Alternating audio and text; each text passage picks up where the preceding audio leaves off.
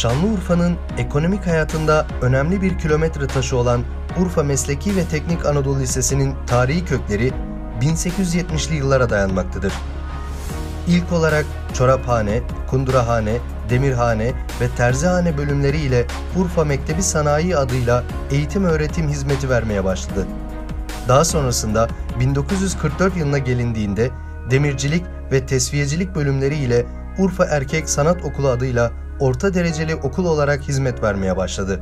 Okulumuz tarihi süreç içerisinde elektrik ve motor bölümleri, makine ressamlığı, iplikçilik bölümleri ile şehrimizin ve ülkemizin sanayi üretimine katkıda bulunmuş, ara eleman değil, aranan eleman misyonuyla şehir ve ülke ekonomisinde lokomotif vazifesi görmüştür.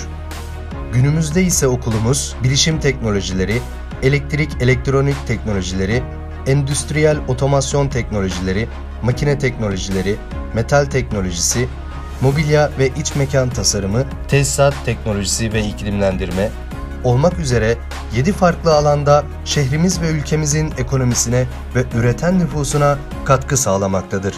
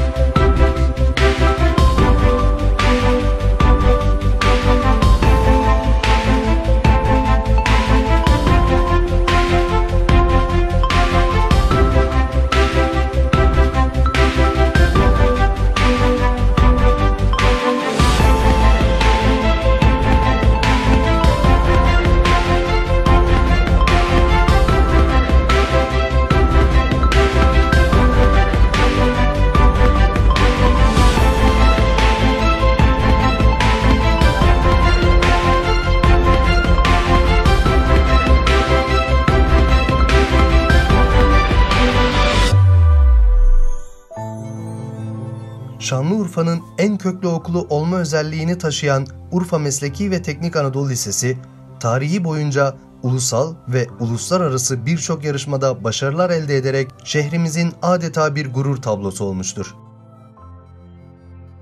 Tarihinde daha birçok yüzlerce başarıya imza atan Urfa Mesleki ve Teknik Anadolu Lisesi, güçlü yarınlar adına ülkemiz gençlerinin yaptığı işi en mükemmel yapan ve neticesinde başarılı bireyler olmaları için çalışmalarını sürdürmektedir. Team Turkey. Türkiye Cumhuriyeti suyuna Team Turkey believes that the best product is born from the best cooperation. The country they hail from also believes in how serious water problems are. And from 1993 to 2005, they went from